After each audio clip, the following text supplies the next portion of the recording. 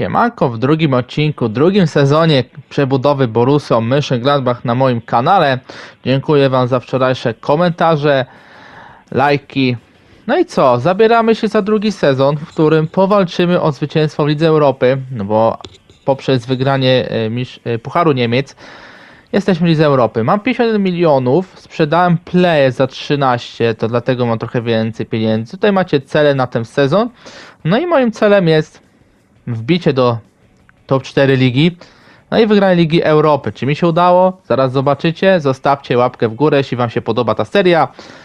I co? W następnym sezonie będzie kolejne miliony do wydania. Jeśli widzicie y, piłkarzy, które bym mógł kupić, piszcie śmiało w komentarzach, jeśli nie macie no, innych już propozycji niż wcześniej. No i dobra, na razie nie kupiłem żadnego bramkarza, bo miałem mało pieniędzy, ale myślę, że w trzecim sezonie już mało będę szukał jakiegoś zastępstwa za Somera, bo już jest coraz starszy. I też muszę mieć jakiegoś piłkarza za niego. Kupiłem za darmo Hummelsa. Stwierdziłem, że taki piłkarz za darmo wzmocni naszą obronę doświadczeniem. Kalaidzic wzmocni nasz atak, na pewno będzie takim rezerwowym z ławki i Hajdara wzmocni nasz środek pomocy. I to były moje główne transfery w tym odcinku. Były tam jeszcze dwa podpisy. Fabio Carvalho za darmo. Fabio Carvalho to mega utalentowany Anglik, więc go pozyskałem za darmo i będę go wypożyczał. I tak naprawdę więcej nie ma. Kalaidzic ma 2 metry wzrostu, więc dlatego go pozyskałem. Też szukałem jakiegoś piłkarza z, Niemie- z ligi niemieckiej, e, który mógłby wzmocnić, wzmocnić mój klub. No i to jeszcze Dani Santana, jakiś młody. Zobaczymy, czy się będzie rozwijał. Hajdara do pomocy, żeby wzmocnić nasz środek pola. Hasa wypożyczyłem do Torino, no i player sprzedałem za ponad 17 milionów do Walencji. No i dobra, półmetek sezonu za nami.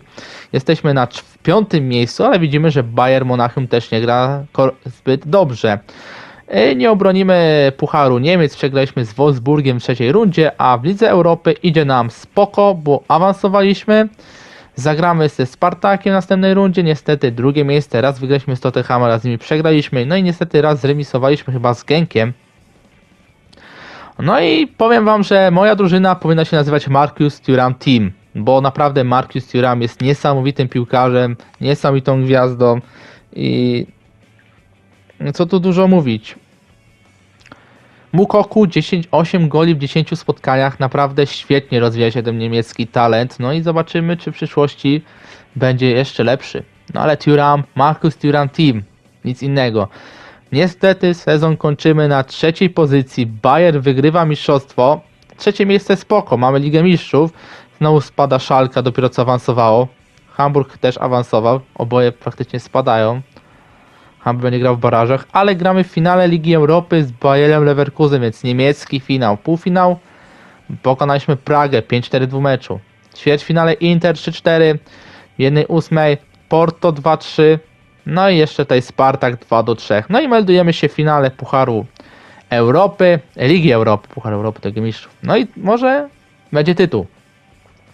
Ale tak jak mówiłem już wcześniej w tytule Marcus Thuram Team 23 gole Thurama i do tego dokłada 13 asyst. Najlepszy strzelec, najlepszy asystujący, po prostu najlepszy piłkarz tego sezonu w Niemczech bez dwóch zdań. Marcus Thuram, no mega jest ten piłkarz, mega się rozwija. Ciekawe, czy będzie tak dalej się rozwijał. Nie chcę go sprzedać, on ma być naszą gwiazdą, numerem jeden. Ja tak naprawdę nie ma żadnych ofert.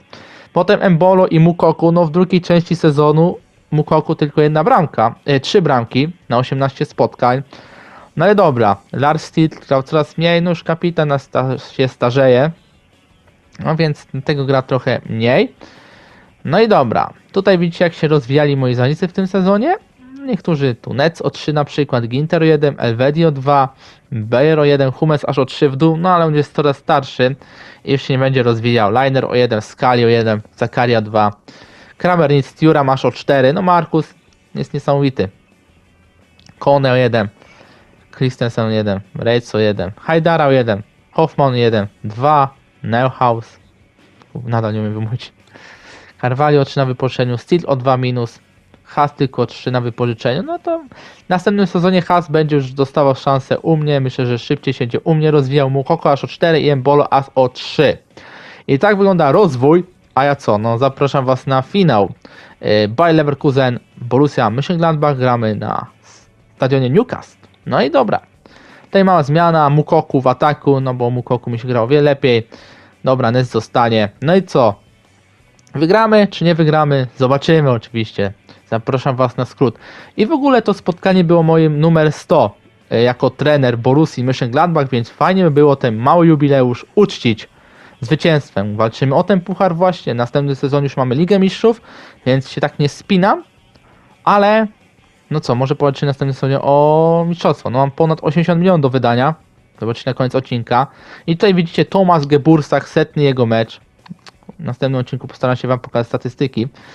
No i Bayer Leverkusen mógł 6 gola, kiedy już się cieszyłem, że setny mecz prowadzę, ale na szczęście Sommer broni to uderzenie. Ale co, idziemy dalej. Nasza akcja. Liner, prawa strona boiska, dośrodkowanie i Embolo. To powinna być bramka, ale Hradecki broni. Ale to jeszcze nie koniec tej sytuacji. Mam już drożny. Dośrodkowanie i Mukoku z główki. No kapitalny, jestem 17-latek. Mukoko 1 do 0. Kapitalna główka Niemca. Chwilę później rozpoczynamy akcję od środka boiska. No rozpoczniemy oczywiście Bayer Leverkusen, bo stracił gola. My tutaj pressing, fatalne podanie. Zakaria ma piłkę do Tiurama. Markus Tiuram. Tiuram. Markus, niesamowita kontrola piłki. Popatrzcie, tutaj zrobił Bayer Leverkusen. Zostawił dużo miejsca i Embolo. Broni brankarz, ale dobija net. I mamy 2 do 0. Fatalne zachowanie Bayer Leverkusen. W ogóle komputer tutaj spisywał się w tym meczu fatalnie. Miałem tyle miejsca, co po prostu to wykorzystywałem. Niestety Leverkusen szyją gola kontaktowego. Prawa strona Demirbay. Demirbay do Sika. Tem do Olmo. Fatalna gra w obronie i Dani Olmo. 2 do 1 niestety. No ale co zrobić jak nic nie zrobisz w tej sytuacji? A my lecimy dalej. Druga połowa. Akcja Borussii przejmuje Elvedi piłkę, podaje do Mukoku i zobaczcie na tą kontrę. Mukoku, Turam, fatalna gra w obronie naszych rywali. Turam podał jeszcze do Netza, a ten strzelił go na 3 do 1. No zapowiada się na to, że wygramy tą Ligę Europy, bo idzie nam naprawdę fantastycznie w tym finale. I ostatnie słowo należało do nas. Koniec meczu 4-1, 72, trzecia minuta. Turam ma piłkę, Francuz Yy, Zobaczcie tą akcję. Francuz tutaj wchodzi do środka, podaje do Netsa, ten do Mukoku. No zobaczcie, jaka dziura w obronie. I Mukoku strzela na 4 do 1. I takim wynikiem kończy się to spotkanie. Mamy, wygrywamy Ligę Europy. Cel na ten sezon osiągnięty. Kwalifikacje do Ligi Mistrzów? Czek. Liga Europy? Czek. Co będzie w trzecim sezonie? Dowiecie się oczywiście jutro. Więc serdecznie Was zapraszam na godzinę 16. Tutaj mała celebracja, pokażę Wam jeszcze kto wygrał Ligę Mistrzów, Ligę Konferencji, ile mamy hajsu następny sezon. Fajnie, mam nadzieję, że w następnym sezonie będzie ciekawiej, ale nie spodziewam się, że wygram Ligę Mistrzów. Nie, nie, nie, na pewno nie. Myślę, że jeszcze mamy za zbyt słaby skład, ale może powalczymy o mistrzostwo Bundesligi. Ligę Mistrzów wygrywa Chelsea pokarnych, a Ligę Europy wygrywa Atalanta Bergamo, pokonując Borussię Dortmund. Bardzo ciekawy finał w Conference League. No i co? Ja się pomału z Wami żegnam. Zapraszam Was do lajkowania, subskrypcji mojego kanału, jeśli Wam moje filmy się podobają. Na Discorda. To tyle. Dzięki. Do jutra.